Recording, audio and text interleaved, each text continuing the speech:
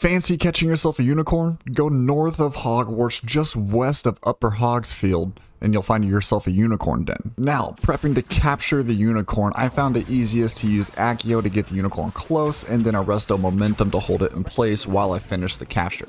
Congratulations, you now have a unicorn.